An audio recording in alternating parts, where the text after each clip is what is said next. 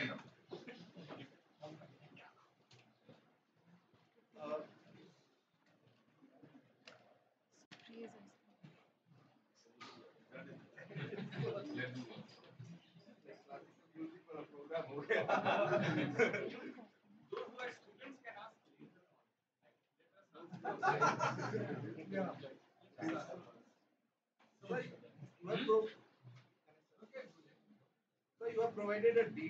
Analysis of structural limitation of right-wing politics in Bengal, alongside the mechanism and the processes through which franchising politics works in the.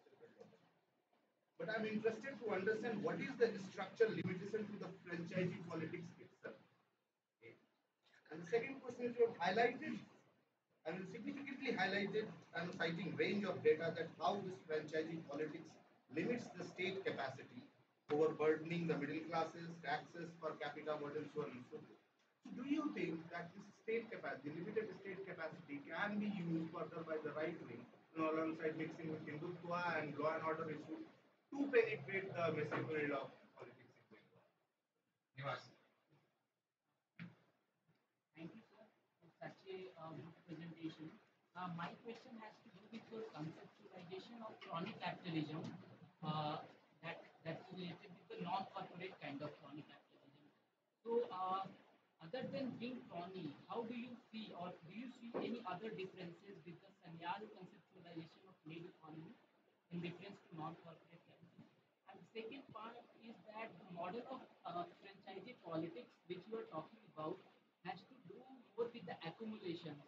So how can we uh, like uh, associate with the need economy or the informal groupings? Because their uh, whole contention is based on subsistence and need. Iman. Um, these are not in the form of well-trained Christians, but is in well-trained um, um, the, the first is, I mean, how is this different from traditional patronage politics? I mean, it seems like same parceling of the state is happening at a more regional level. How is this?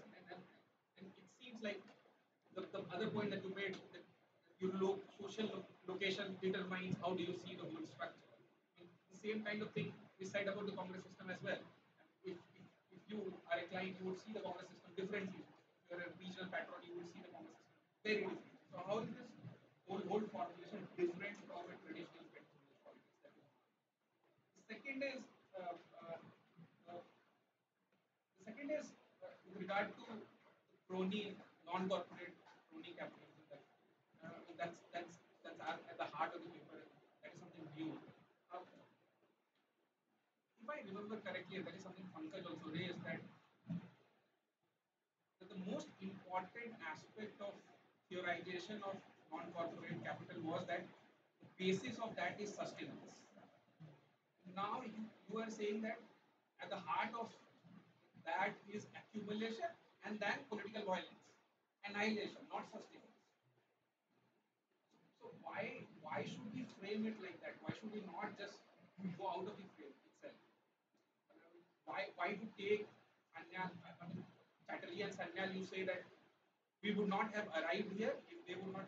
I'm saying yeah, that that's correct. But but let us take some other frame, say Barbara Harriss-White's frame or other frames would frame those kinds of questions with regard to black economy and other things.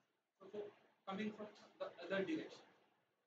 So the third question, and since you raised the issue, I mean, Ranabir Samaddar, he wrote a very provocative piece in Indian Express after Mamata won in 2016. He called that what is happening in Bengal is a kind of churning, where subalternization and lumpenization is coming out as a poison and nectar kind of. That's the imagery used. The point, and, and the other major point, and that is something that he made that continually is making that the center of Bengal's politics has now shifted from citadels of Kolkata to bazaars of Malda. That's that's that, that is what he said. But the first structural limit that you pose that BJP won't enter into, I mean, that that that won't enter into Bengal is that I mean it trains its guns against intelligentsia, the intelligence. Here is some other saying that it has already uh, the TMC has already done. how do you respond to that that, that Yeah, yeah. I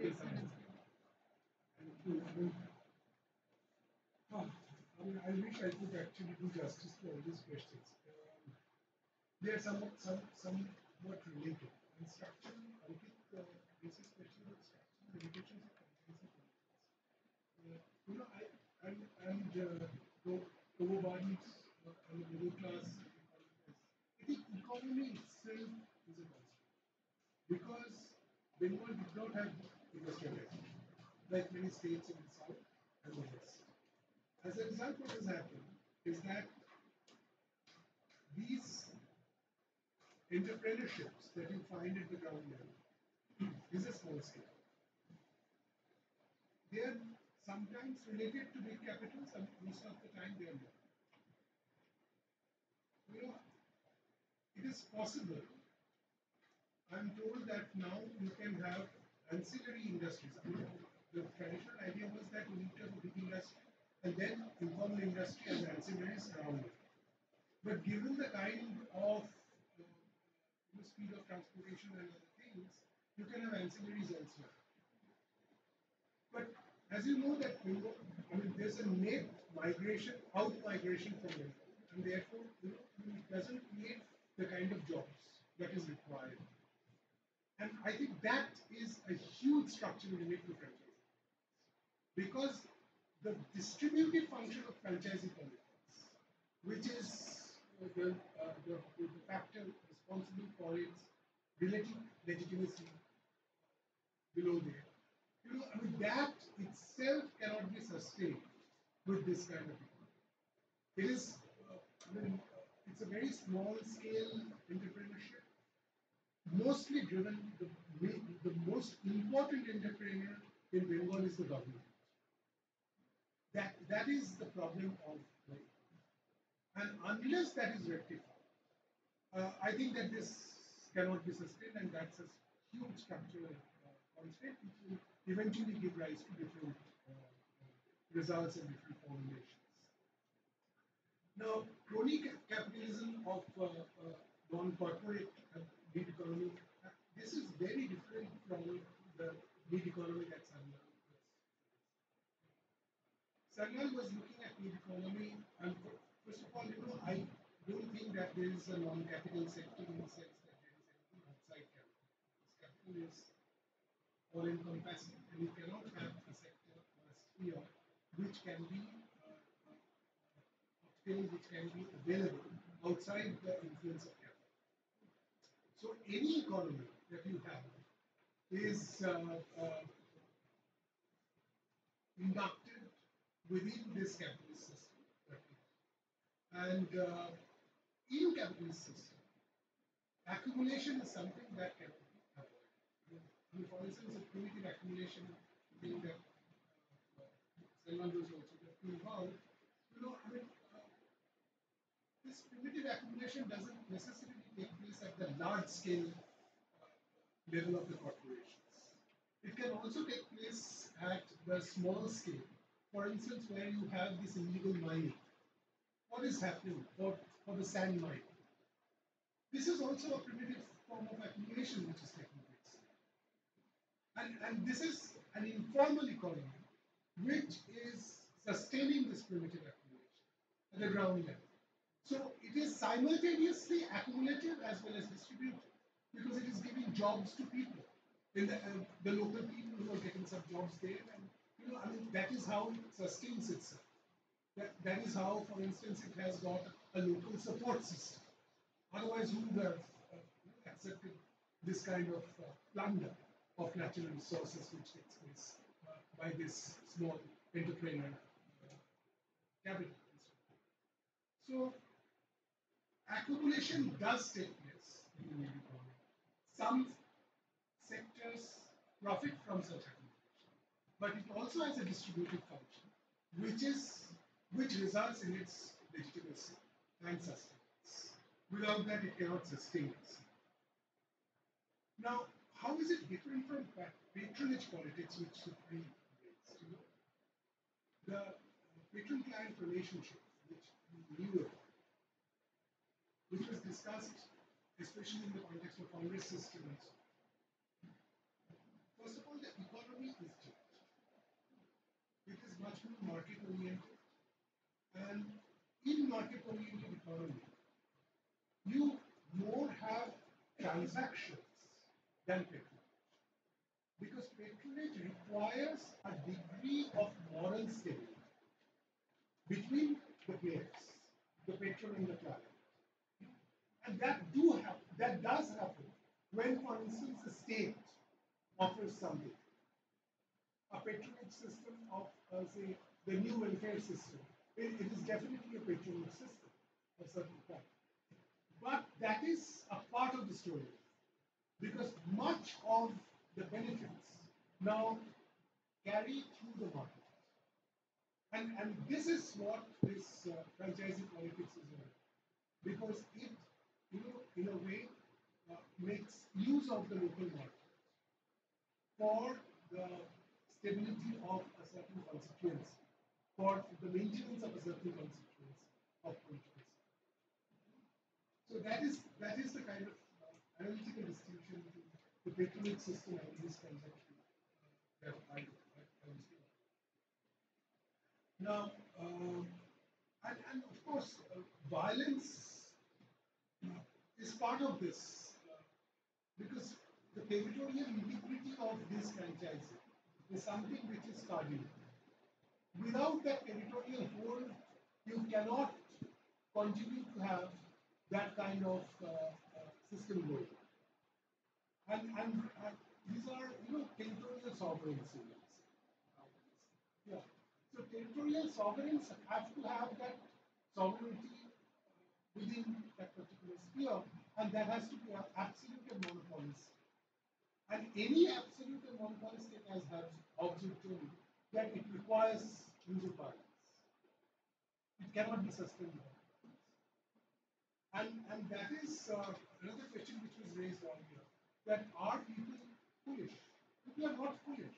People are actually making use of this format to the best of their abilities.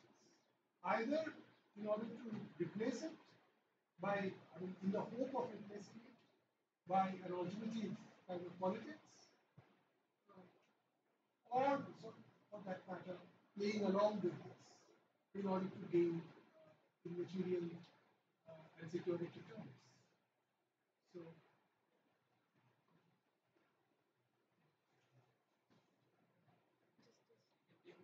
There's another question. I have two questions.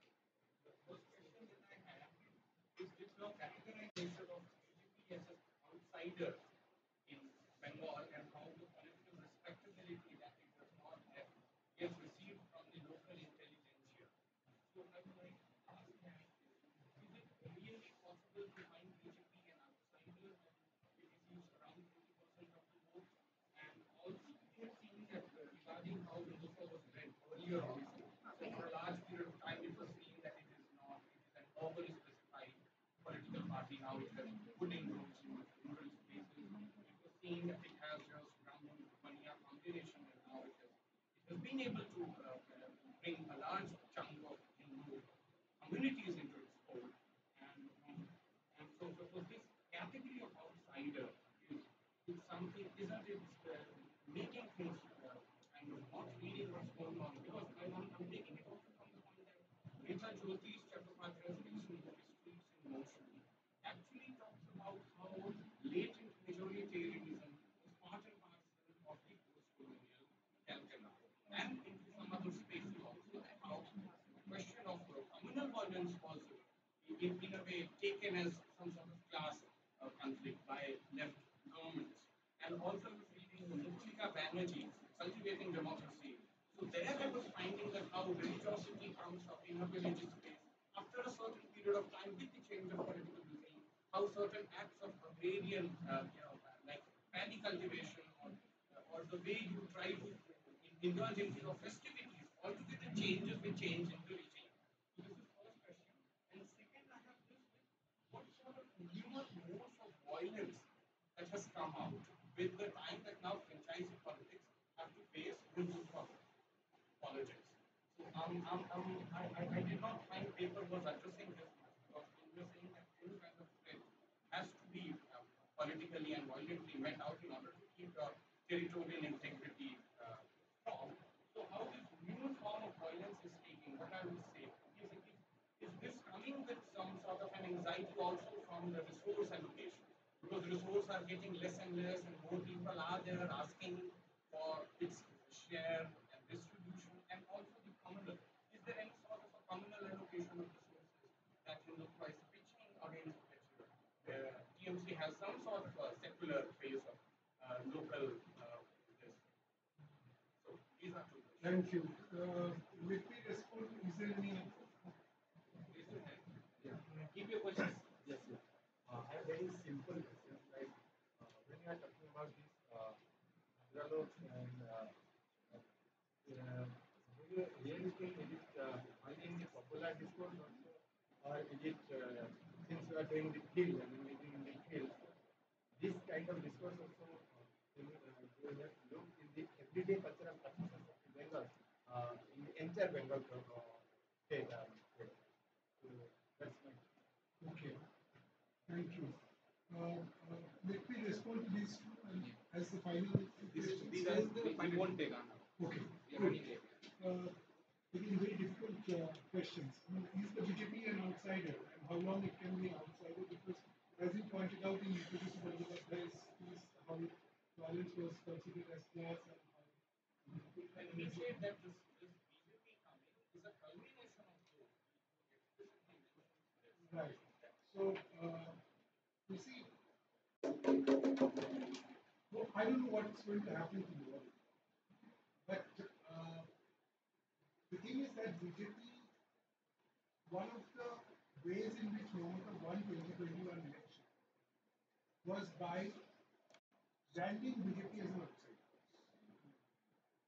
She made a kind of a ethno mobilization of politics. People. Uh, immediately before the election, there were huge hoardings with Mamata's face and with the caption saying Nije neki chahe. Bangla wants its own daughter. Now, it actually killed two birds with just one stone. First of all, it was a Bengali Asmita, as Gujarat made that argument. Secondly, it was also a gender Asmita. Because, you know, BJP was perceived as a masculine party. And, and uh, uh, I also mentioned that many of the BJP leaders, you know, there is no BJP leader of significance in them. All the BJP leaders of significance were coming from northern northern and western Now, it is not difficult to see, and, and after so many years, 2019, the BJP made such sweeping gains in Bengal. Even now, you don't have a formidable leader from BJP. The only leader who's talked about mostly, who is a turned from TMC, Shubhendu Adhikari, who again has a very limited kind of uh, influence in southern Bengal, in. So how come that a party which is making such enormous electoral gain doesn't have any undisputed leadership the.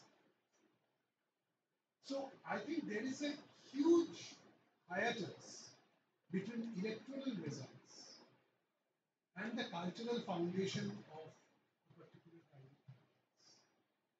So you can have electoral results of certain kind for some time, but that doesn't necessarily give you a permanent position within the cultural foundation of a culture. And that is the difference between electoral polarization and social polarization. BJP has achieved electoral polarization as a polar party, but it is yet to achieve social polarization on religious lines to become a polar figure. You know? So this is the distinction that one has to keep in mind. And you are right in one sense that if Bhadralok hegemony is successfully challenged, of which there is a possibility, then what happens we don't know. But I mean, this is again the question of everyday politics at the ground. That how is Bhadralok perceived? I mean, for instance, there was a time when sending the child to the school was important. Now sending the child to the English medium school is important. There was a time when folk theatre was important. Now it is Bollywood which is important. So, you know, the cultural fabric is changing. So we don't know what's going to happen tomorrow. But even now, even now, maybe less than what it was 10 years ago, it's important to have an endorsement of the Badru. Or you, have, you need to pretend to be a Badru in order to get political advantage. For instance, uh, uh, this uh, Mamata's nephew, uh, Abhishek. Behaves like an impeccable Badru without using the kind of language that Mamata uses. So, you know, this is this is something which is very very good.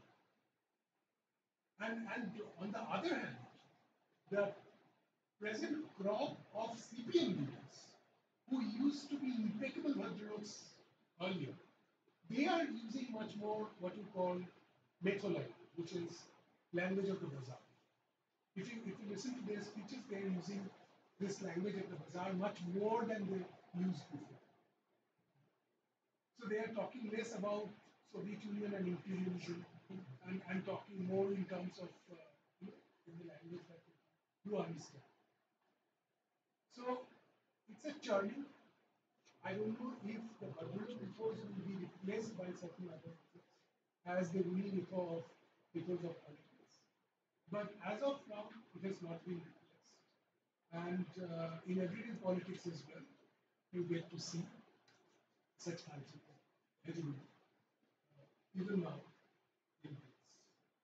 And uh, there was another question about the new violence, Hindu Muslim violence, and so on.